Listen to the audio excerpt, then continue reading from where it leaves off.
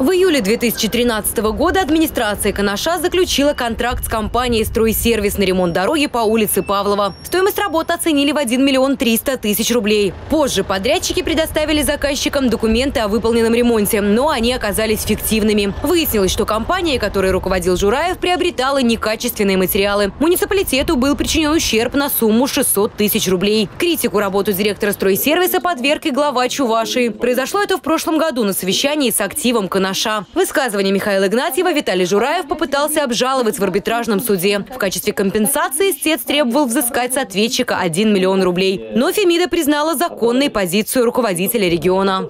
В ходе неоднократных судебных разбирательств, которые происходили в течение 2014 года, арбитражный суд Чувашской республики изучил все материалы дела, изучил все приведенные доводы, подверг оценке полный текст выступлений главы Чувашской республики, э, всех тех слов и высказываний, которые прозвучали 26 э, февраля в ходе 2014 года в ходе подведения социально-экономических итогов развития города города Канаша и высказываний на Молгороде 2014 года и пришел к выводу о том, что а, все высказывания главы Чувашской республики Игнатьева Михаила Васильевича не противоречат закону, соответствуют сфере деятельности главы Чувашской республики как руководителя региона и не носят порочащий характер в отношении общества с ограниченной ответственностью «Строй-сервис».